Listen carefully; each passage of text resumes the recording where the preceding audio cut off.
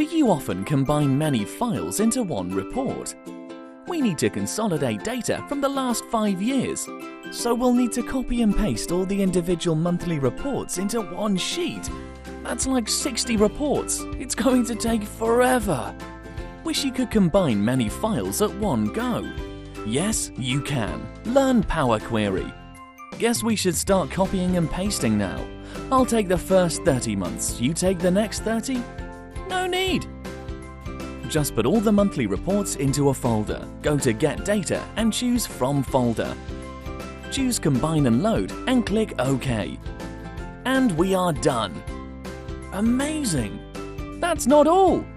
If we get new files, just add them into the folder, hit Refresh All, and the new data gets added on.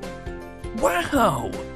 We believe that if you learn Power Query, you can 10 times your speed from data to insights, avoid repetitive steps, and free up your time to do meaningful work. And the cool thing is, it comes with Excel. What this means for you is that it's easy to access, quick to learn, and easy to share your reports. Learn how to supercharge your Excel powers at lightdotlab.com. Get your data talking, we'll show you how.